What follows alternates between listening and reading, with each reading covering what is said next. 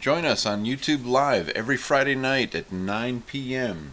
We'll have weekly topics. This week will be hydronics, followed by a Q&A session. So come join us for this family-friendly event and bring your ideas. Please share them and look forward to it.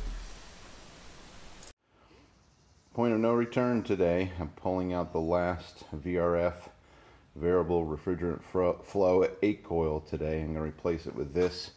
This is a uh, 4 ton hydronic coil and so there will be no more refrigerants in the house. This is a, again the constant pursuit of doing everything with water. So we'll be able to heat and cool our house with water. Been heating it with water for 12 years and that includes our domestic water. Now we're to take out the refrigerant A coil and add this baby to it. So we're to be uh, just swapping it out and have to probably do a little sheet metal work and to make the transition using my brake and shear.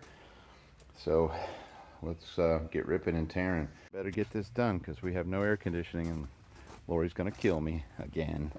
Um, this is uh, the hydronic we took the the refrigerant A coil out and put the new one in got fittings ready to go to hook it to the chiller and we made it work and kind of use the existing uh, pans. Looks a little rough, but it looks like it's going to fit. So let's get it in the air handler. Apparently this coil fit pretty, it's a little bit smaller than the other one, but it should work fine. Fits in the drain pan. Got a little stand so the front's supported. And I don't see any gaps. We should have a pretty, pretty good, uh, hopefully pretty good flow. No loss, very little loss, and it will cool. This again is the cooling coil. I've got a the hot coil we put in years ago on the wood boiler side. So this is just on the on the cooling. We should be fine.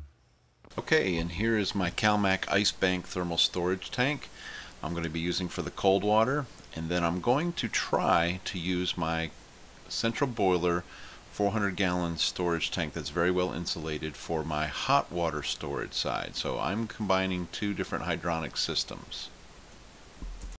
So this is part one, trying to basically convert my home over to a hydronically based uh, heated and cooled home. So I want to do everything with water. So that's been my goal for a long time. If you've been watching my channel for several years, you know that I'm kind of uh, obsessed with water. Well, now it's gotten even worse. Now I want to be able to heat and cool my house with water and no refrigerants will be in the house and um, so I just think that it's awesome. Water is still the gold standard for heat transfer. Has some amazing properties we'll get into as we talk about it. And here's just a drawing of a possible way that I'm going to loop this and put this uh, chiller in and connect it to storage. I will also have a similar loop for the heat side. So there's a cold, cold loop and a heat loop and the chiller can do simultaneous heating and cooling it can also do cooling alone and heating alone. And then I also have my wood boiler uh, for just heating. So, and I've got a lot of temperature changes here. The wood boiler produces water that's much hotter and not a, not allowed in the plumbing I'm going to be using for the, the chiller. I'm going to also be adding some fan coils, uh, wall-mounted units in the upstairs of my house. So there's some other loops that aren't shown in this drawing.